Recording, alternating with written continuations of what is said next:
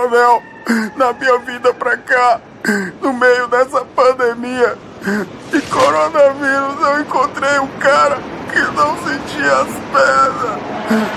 Por que, John? É mais um sintoma do coronavírus? Não, é porque ele era paralítico.